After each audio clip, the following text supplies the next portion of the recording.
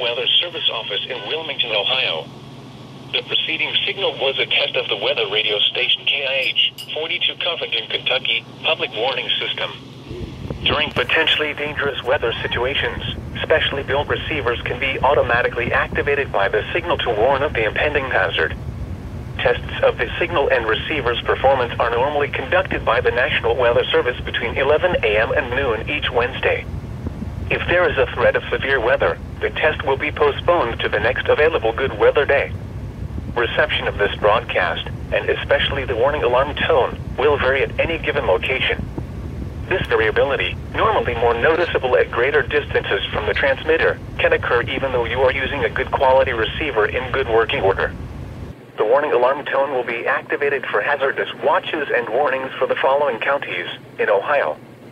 Brown, Butler, Clermont, Clinton, Hamilton, Highland, and Warren.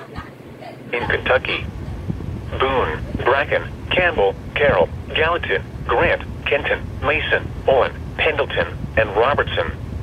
And finally, in Indiana, Dearborn, Fayette, Franklin, Ohio, Ripley, Switzerland, and Union. This concludes the weekly test of weather radio station KIH, 42 Covington, Kentucky.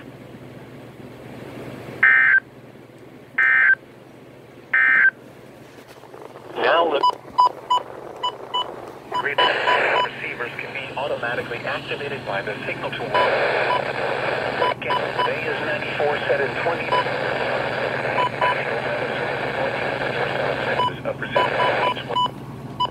If there is a threat of severe weather, the test will be postponed to the next available good weather day. Reception of this broadcast, and especially the warning alarm tone, will vary at any given location. This variability, normally more noticeable at greater distances from the transmitter, can occur even though you are using a good quality receiver in good working order. The warning alarm tone will be activated for hazardous watches and warnings for the following counties in Kentucky.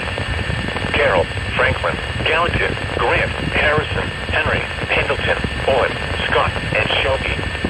And in Indiana, Switzerland. This concludes test of weather radio station KZZ, 48 Owenton, Kentucky.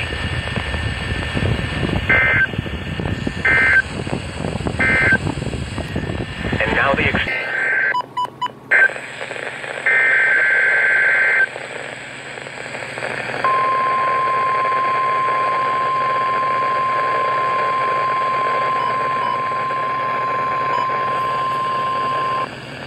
A test of the NOAA weather radio warning alarm device and the emergency alert system. During potentially dangerous weather situations, specially built receivers are automatically activated to warn of the impending severe weather and or hazards in north central Kentucky. Tests of these receivers are normally conducted every Tuesday between 6 p.m. and 7 p.m. local time and every Wednesday between 11 a.m. and noon local time. When there is a threat of or existing severe weather in the area, the test is postponed until the next available non-severe or hazard day. This broadcast originates from the National Weather Service office in Louisville from a transmitter in Frankfort on a frequency of 162.5 megahertz. Reception of this broadcast and the warning alarm will vary at any given location. To provide the most consistent warning service possible, the warning alarm will be activated for watches and warnings affecting the following counties. In north central Kentucky, Anderson, Franklin, Henry, Owen, Scott, Shelby, and Woodford. This concludes the test of the NOAA weather radio warning alarm and emergency alert system. We now return you to regular programming.